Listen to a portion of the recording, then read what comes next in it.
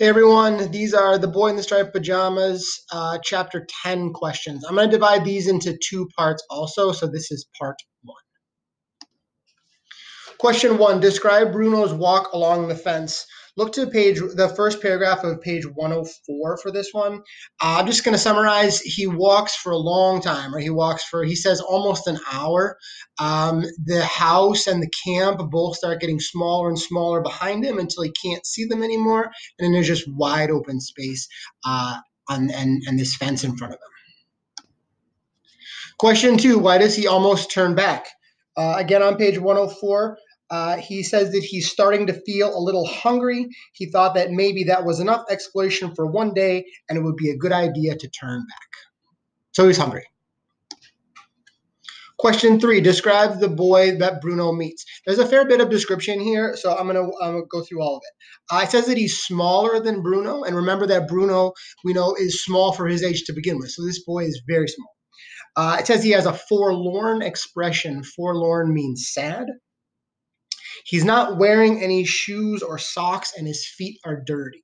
Remember, he's uh, he's a we're getting an image of a, a prisoner in the concentration camp. Um, he has no shoes, and his feet are dirty. Um, it says that his skin was almost the color of gray. I'm imagining here that he's sick. Um, he's not well. He's not eating very much. Um, he's not. Uh, he's not. He's not well. He has very large eyes that are the color, color of caramel sweets. Um, and again, I imagine because he's so small, his eyes probably look really big. So we have an, an image of a, of a young boy who is um, said hungry, dirty, not in very good health.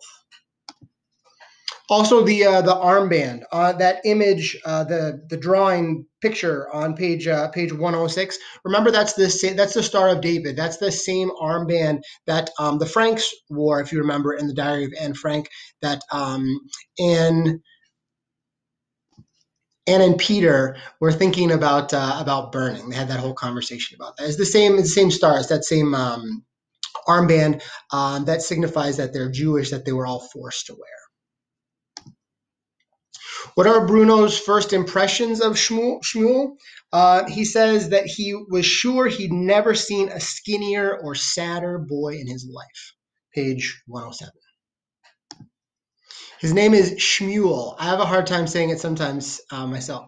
Uh, Shmuel. It's a uh, it's a Hebrew name, and it's kind of like our Samuel or Sam, but it shows us it, it represents to us that he is uh, that he is Jewish. Shmuel. What is unusual about Shmuel's birthday? It is April 15th, 1934, the exact same day that Bruno was born. And this is another thing that's not just a coincidence that uh, Boyne throws in. Uh, it's already setting up for us this kind of image of them as twins, right? Bruno says that they're that they're twins. They're exactly the same age. They're born on the same day, and yet, despite that, they have very very different lives, right? One is German, the other is Polish and Jewish and we see it's already setting up for us this stark contrast between them despite the fact that as humans just as as boys uh, they are identical in that way